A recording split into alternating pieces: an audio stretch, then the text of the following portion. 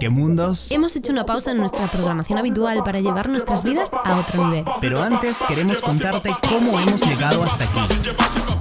Nos remontamos a octubre del 2018 en la ciudad de la furia, Buenos Aires. Argentina. Para ser más específico, en el popular barrio de San Telmo, conocido por su famosa feria, el Banco de Mafalda, bares y buen ambiente. Rodeados de todo eso, nos conocimos compartiendo casa. A pesar del riesgo que supone liarse con un roomie, ya sabes de lo que te hablo. Pero sí, desde que nos conocimos estamos viviendo bajo el mismo techo. Entre quedadas en la terraza, cruces en los pasillos y comidas compartidas, Nos dimos cuenta de lo mucho que teníamos en común. viajar. La verdad es que Carlos salía con la excusa de hacer ejercicio para mostrarme músculos, pero él niega tal hecho. Sabes que no es así. El caso es que a días de acabar el 2018, Justo en la noche del 24 de diciembre pensamos que era buena idea irnos a la costa para recibir el 2019 en el mar. con una planificación a medias, armamos la mochila y nos fuimos. Hicimos una parte en tren y tras perder una conexión hicimos dedo. Ajá, una vez más lo hacemos. Fue un gran viaje en el que nos dimos cuenta de qué era lo que queríamos.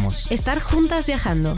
Yo me hacía espacio en Argentina tras haber escapado de la locura que se vivía en Venezuela en el 2017, aunque la verdad fue una excusa para hacer algo que deseaba hacer desde hace mucho tiempo, viajar a dedo. Y así lo hice por Colombia, Ecuador, Perú, Chile y Argentina. Fueron casi seis meses. Yo en España me atreví con la excusa de estudiar a cruzar el Atlántico para llegar al fin del mundo, ver los glaciares de Perito Moreno, mojarme en las cataratas de Iguazú. Viajé del norte al sur argentino. Fue el viaje de mi vida. Le tocaba volver a Irene para acabar sus estudios. Sí, era enero del 2019 cuando regresé a España. Y un mes después estaba yo en suelo gallego. No puede vivir sin mí. Revisando los videos de nuestro viaje por la costa, nos dimos cuenta de que teníamos algo que estábamos disfrutando y podría servirnos como vía de escape mientras nos establecíamos. Fue así como nació Que Mundos TV. En agosto de ese 2019 estrenamos el canal. Se convirtió en nuestra vía de escape a la rutina. Y que poco a poco se convertiría en algo más que eso.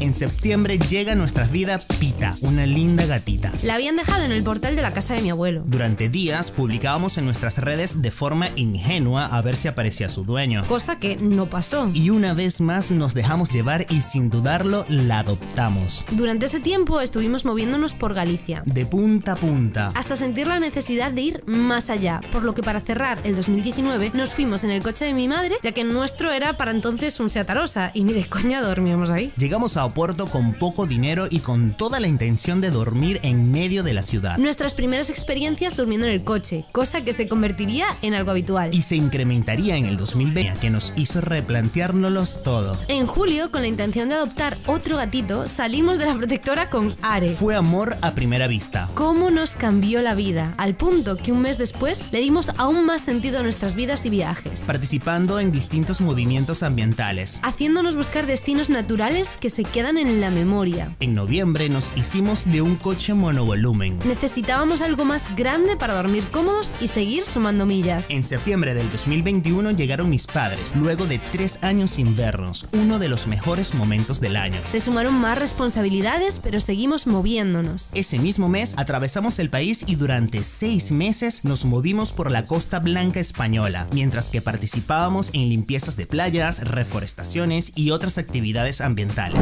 Llegamos a los primeros mil. Fue lo máximo. En marzo del 2022 nos dio morriña y volvimos a Galicia para recargarnos y repensar el proyecto. Teníamos muchas ideas, como la de irnos de mochileros por América. Hacernos de un velero y conquistar los mares. Hasta convencer a Carlos de hacer nuestro propio hogar sobre ruedas. Fue así como tras dos meses buscándola nos hicimos de una furgoneta Volkswagen Crafter 2006. Con la intención de hacer la camperización con nuestras propias manos. Queremos agradecerte por acompañarnos en esta primera etapa y si eres nueva aquí, pues bienvenida. Nos encantaría que nos acompañes en esta aventura. Donde te mostraremos lo que no se muestra en la vida en furgoneta, en pareja, con una gata y una perra. Inspirarte y recordarte en todo momento que cuando se quiere, siempre se puede, por muy lejos que veas ese objetivo. Seguiremos llevándote a lugares sorprendentes, aprendiendo a vivir y a viajar con sentido. Con amor y respeto a nuestro entorno. ¿Qué dices? ¿Nos acompañas?